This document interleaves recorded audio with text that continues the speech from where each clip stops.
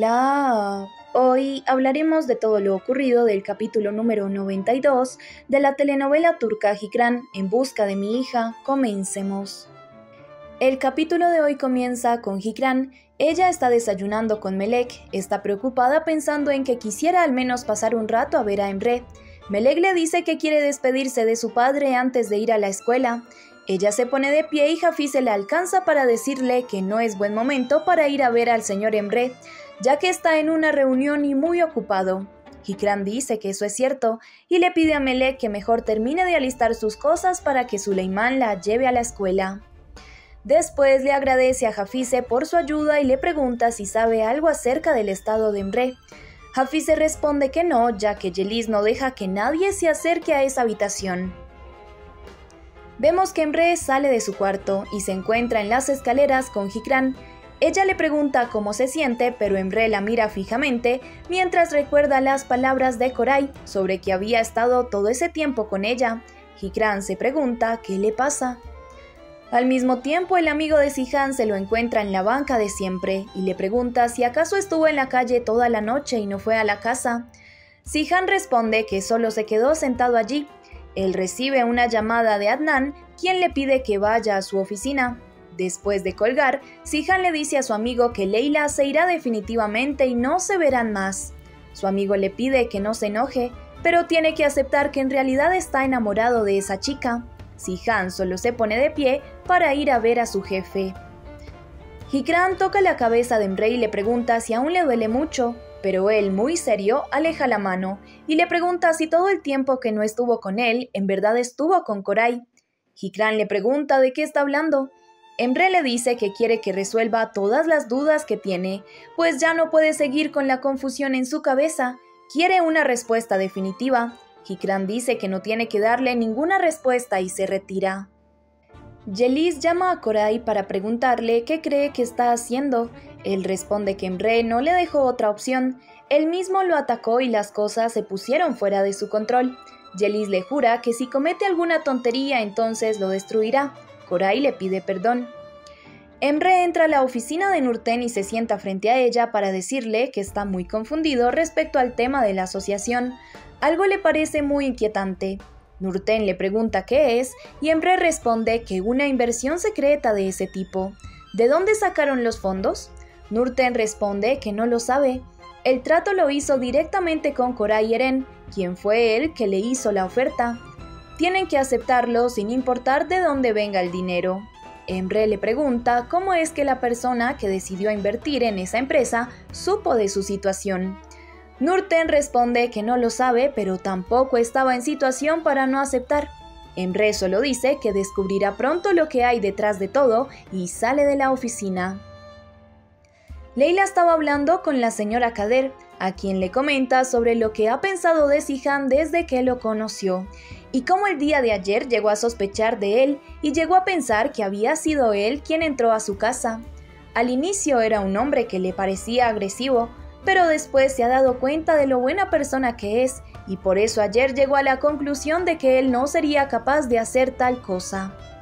Kader le dice que ella siempre ha sido una chica que ha intentado evitar a la gente para no ser lastimada y saca excusas para alejarse de ella, pero ahora puede ver que el brillo de sus ojos no miente al hablar de ese chico.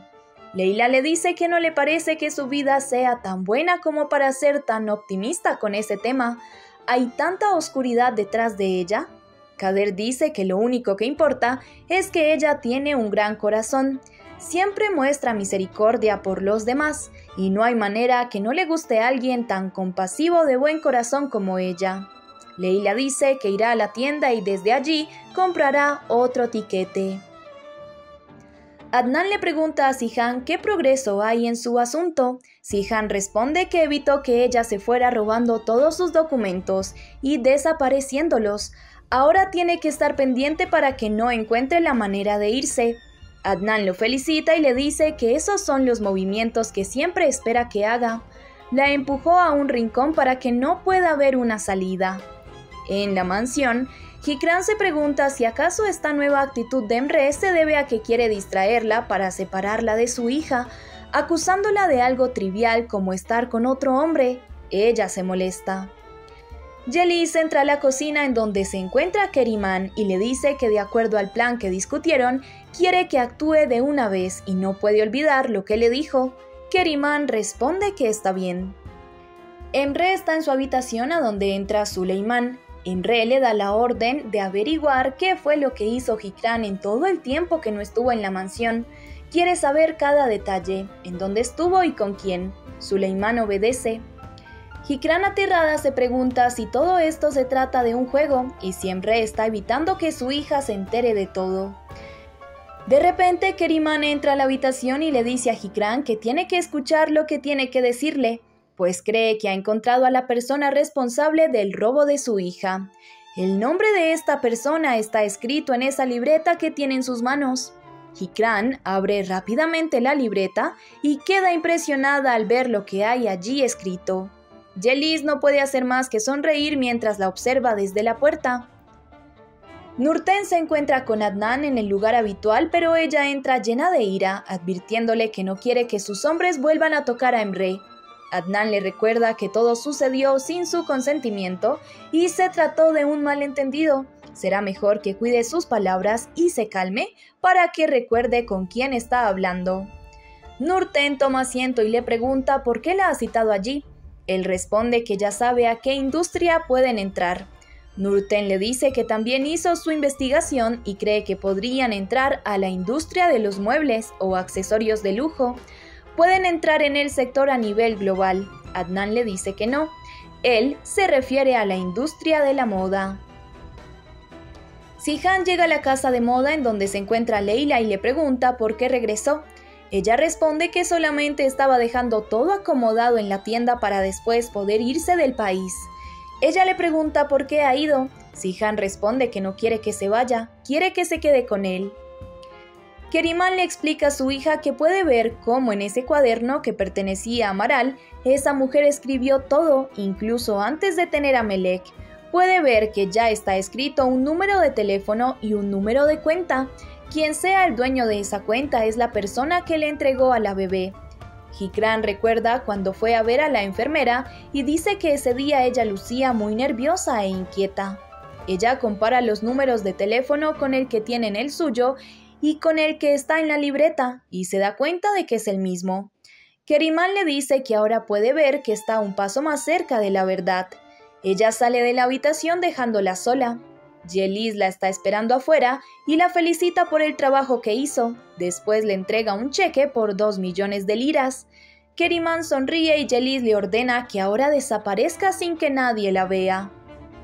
El capítulo termina con Hikran. Completamente molesta, ella lanza la libreta al suelo y dice que entonces Maral y Emre lo planearon todo desde el inicio y está jugando con ella. Le robaron a su hija mientras ella se retorcía de dolor. Emre lo sabía todo y le mintió mirándola a los ojos. Jura que él tendrá que rendirle cuentas. Hikran toma la libreta y sale de la habitación. Ella llega hasta la puerta de la habitación de Emre, pero se detiene antes de golpear y dice que tiene que calmarse. No puede actuar igual que él, ya que si ella se va, él regresará a buscarla, intentará mentirle y convencerla como lo ha hecho hasta ahora.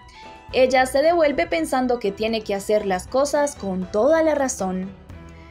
En la casa de modas, Leila le pide a Sihan una sola razón para quedarse. Sihan le dice que allí puede ser feliz. No es fácil, puede empezar desde cero. Leila le dice que ya está cansada de empezar una y otra vez desde cero. Sihan le dice que la única diferencia es que ahora no está sola, no dejará que sufran y le hagan daño nuevamente. Finalmente, en la mansión, Keriman sale y le pregunta a su hermano si le parece que ella es una mala persona. Sabe que no lo es, pero en cambio él es especial y ha sido el mejor hermano mayor de todos. Él y Hikran son buenas personas y por eso ella no los merece. Derbis le pregunta de qué está hablando, pero ella solo dice que saldrá un momento al mercado. Keriman se despide de su hermano y le da un gran abrazo para después darse media vuelta y caminar hacia la salida. Desde lejos ella le dice adiós a Derbis y a toda la familia Axoy. Espero les haya gustado este adelanto. No olviden suscribirse y activar la campanita de notificaciones para que no se pierdan ninguno de nuestros próximos videos. Gracias.